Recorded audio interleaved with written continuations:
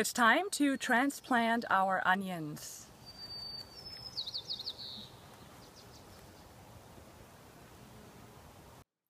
So before you transplant your onions into your garden, you need to harden them off, which means that they were used to the greenhouse environment and since they're going to be outside now in the elements, they need to have a little bit of time to acclimate to that.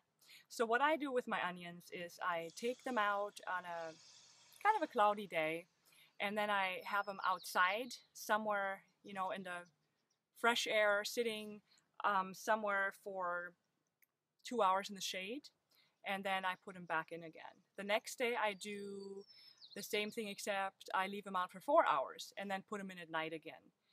And the third day, um, I might do the same thing again or I might just leave them out overnight.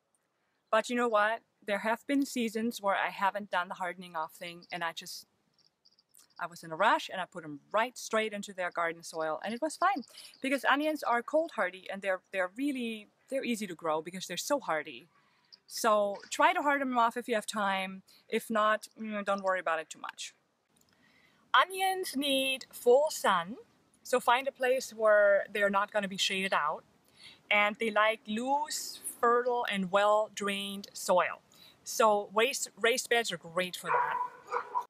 So onions really like loose soil because, you know, their bulbs expand and they like to grow their roots down um, so I like to double dig my soil. I don't like uh, tilling because it does destroy the soil structure and the earthworms and all that.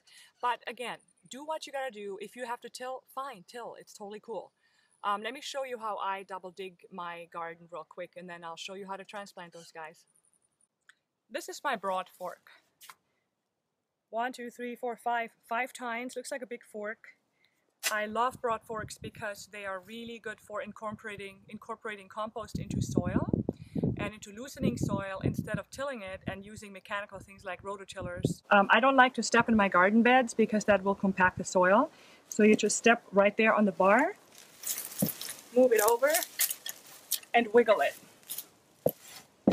Repeat. Repeat.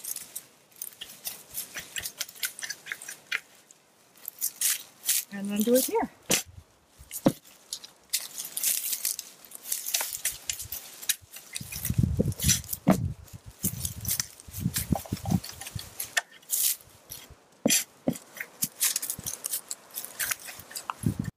And then I just go through this with a rake and just kind of get it nice and smooth.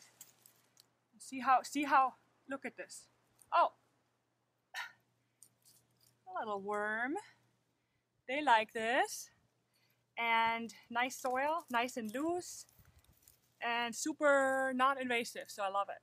Good workout too. It's a good workout. Double digging builds good muscles. But it's hard work, so again, don't feel feel bad about tilling. It's, it's all good. Now, um, onions are heavy feeders, so um, I incorporated compost into this bed already. And I'm going to also use some organic pelletized fertilizer. First thing I do is I just go ahead and make a row across, just one like this. Now I incorporate the fertilizer with my hands. I don't wear gloves when I garden. This is why my hands look like this, but I like to feel the soil. And it's nice and loose, and I just kind of go like this and work it in. Next step, I make a little trench. Now, of course, you could use a garden, garden thingy if you wanted to, but I, again, I like to feel the soil. So basically two or three inches down. Okay, I'm going to show you my great trick for growing great onions now. This is how I transplant them. Get yourself a little bucket of water here. Then take, take these ones and invert them gently and carefully and then put them in like this. Put them in the water and swish them around. See how that how that separates the roots like that? And then it's really easy to take them out individually And now you're gonna put them in here.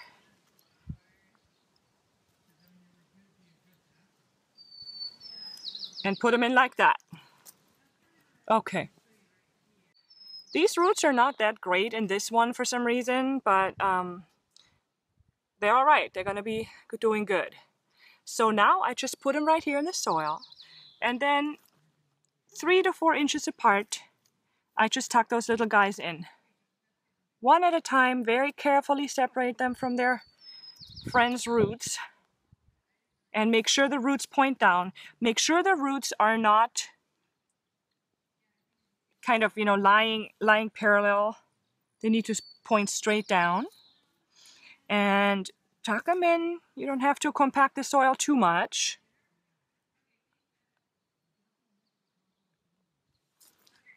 And go like that and just keep doing this. And I know they, it looks terrible. You're like, what? These are going to be onions? And yes, they will be. It'll be all fine. I, they always look weird when you transplant them at first.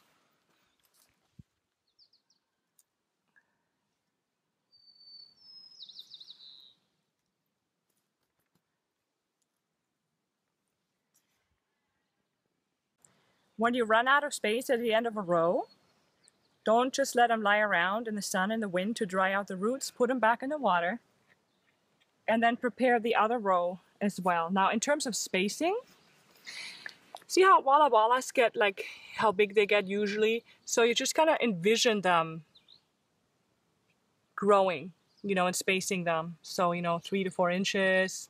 I like to plant my stuff together closely because I have raised beds and I have fertile soil. Okay, so next one, next row, again lay down some fertilizer.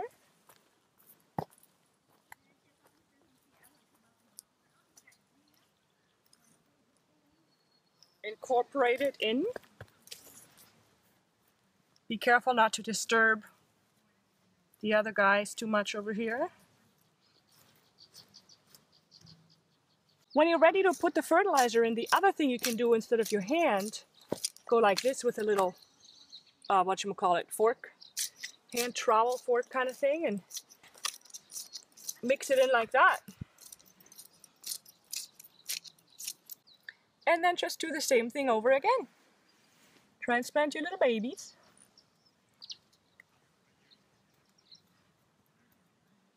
And then they're going to be spaced just about like that.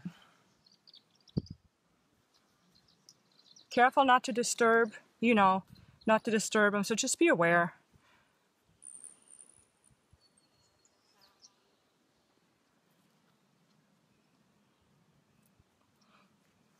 You know, one thing I do in my garden is I tuck in a few onions here and there everywhere because um, some pests don't like the smell of onions. So like for example in my lettuce bed I will tuck some of these in and have a salad bar. So I don't know what happened, but those last two pots, the roots of the onions were pretty uh, short. And it might have been because I used some older seedling mix, starting mix, I don't know. But it's more like long like this. You should see them longer like this. And that's why we grow them in deep pots like that. So again, um, make sure that when you plant them, when you transplant them, when you put them in here, you know, right here. So dig your little hole here and then put them in like this. Don't, don't, don't, don't put soil on it when they're like this. You know what I'm saying? Like here, they need to be straight down, straight down, and then you gotta put your soil on top.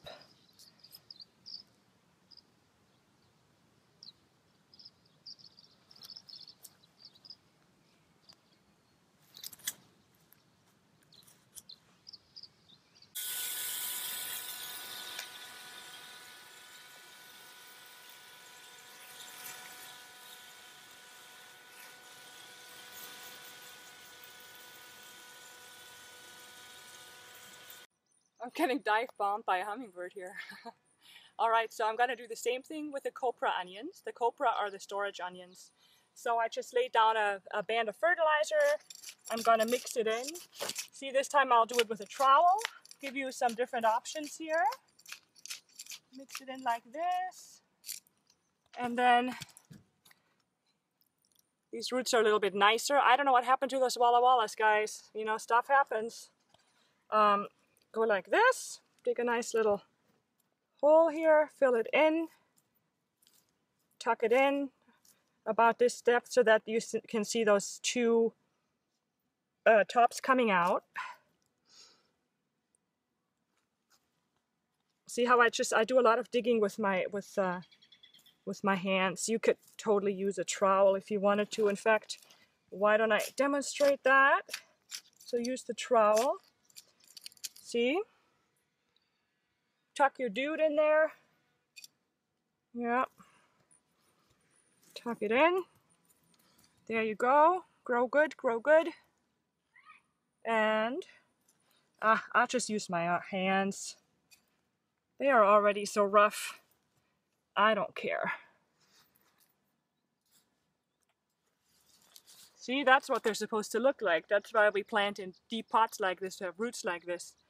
For some reason, those wallas, you know, I had them sitting outside a bunch to harden off before I got to them because I had a lot of goat babies being born and, you know, I was busy. I couldn't transplant them in time. And I think they might have just gotten their roots and their feet too wet. And so the roots are looking all kind of, um, I don't know, something happened with all the rain. However, it's going to be a great experiment and you'll you'll see in a few months what it's going to be like. Watch for the next video and eat your onions.